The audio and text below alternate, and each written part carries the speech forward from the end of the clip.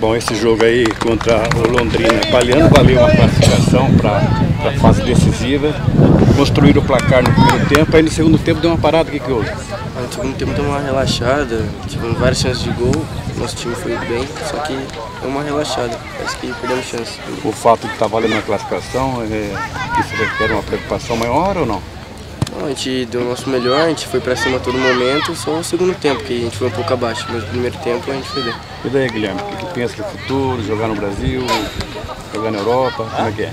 Meu sonho é entrar no clube, estou treinando para isso, vou dar o meu melhor e quero chegar no clube grande e me destacar. Bom, está acontecendo uma Copa do Mundo, é interessante que no ano, na última Copa, tinha um jogador que está disputando que estava assistindo o jogo na, na, na, no sofá, quem sabe a próxima Copa, né? Por que não, né? É. Sonhar não é proibido, né? Não, vou dar o meu melhor.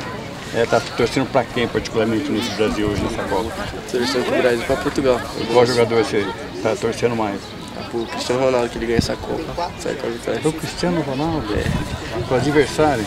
ah, porque ele merece demais. Ele treinou pra chegar lá, ele é minha inspiração. Guilherme, Guilherme, o português. Aí o Guilherme puxou pra direita, bateu cruzado, é gol! Gol! Do Creminho! Guilherme, camisa 9. Puxou para a direita. Dominou e bateu de perna direita. Queimando a grama, não deu para o Murilo. 2 a 0. Grêmio dos Operários.